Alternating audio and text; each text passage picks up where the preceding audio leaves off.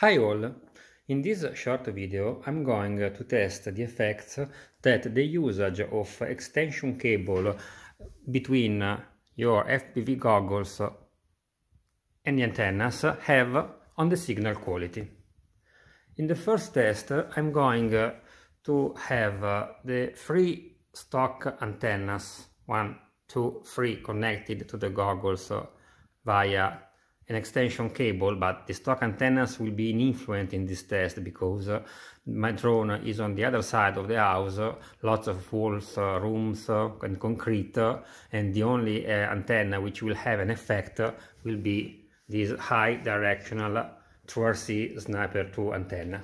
So, first test I will put the Sniper 2 antenna directly connected here on the top left connector in the goggles pointed in a, in a, in a precise direction towards the drone and see what happens.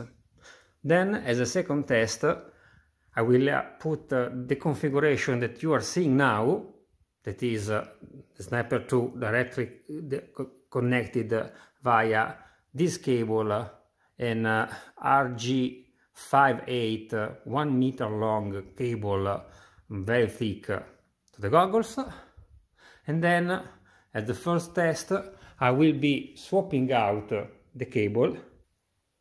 And instead of this 1 meter thick RG58 I will be I will be using this one which is a much more thinner as you can see putting one close to the other this is a, a, two, a 2 meter long cable, RG174. And uh, I really think uh, that the results uh, will be much worse by using this thin cable uh, and, and it is even longer. So let's do the tests and see what happens. Before the results, just in uh, a bonus test, I will try to make a recording with just the sniper antenna mounted to the ground station directly. And then I will make another recording putting this 5 centimeter uh, SMA adapter in between the antenna and the cable on the ground station just to see the effect of adding uh, an adapter uh, what, uh, what effect it causes on the signal. So let's do the test. Okay, the tests have been done and long story short, the result is that you, by using a good quality RG58 cable in short one meter you just get a minus 15% signal loss in comparison to the FPV, FPV antenna directly connected to the goggle. And I think that uh, a 15% uh, loss is acceptable uh, if if you keep uh, into account the fact that uh, uh, if using a ground station, a fixed ground station like the one that I showed you, you will have the, the, the, clear advantage of having it always pointed in the right direction. So 15% I think is an acceptable amount of signal lost loss.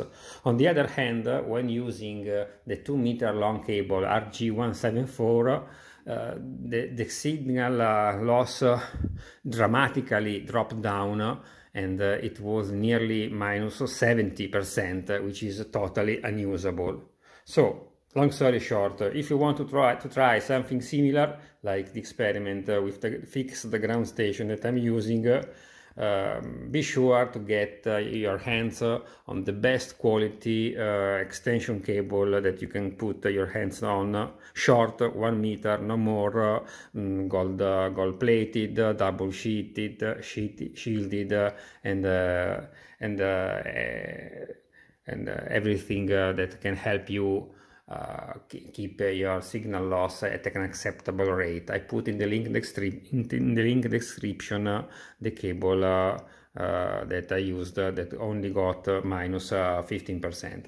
Then as a bonus test, as you can see, I made uh, a, a, test with uh, the antenna directly connected to the goggle and by using a small, uh, very small adapter.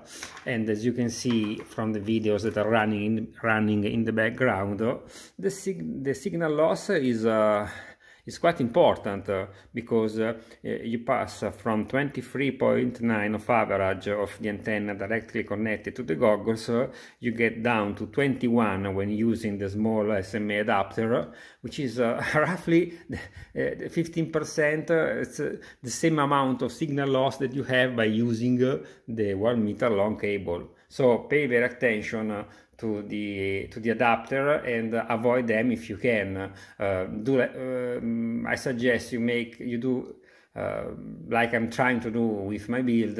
I get the the antennas on the transmitting sign that, that is the drone with the same type of connector of my VTX uh, unit. Uh, in that way, I don't have to use an adapter between uh, the VTX, the DJI Air unit in my case, which is which have MMCX adapters uh, to the antenna. So it's not good uh, MMCX to SMA or RP SMA adapters.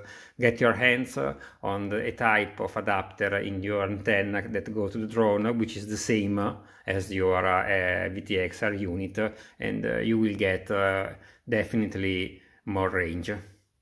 Thank you for watching. Stay tuned.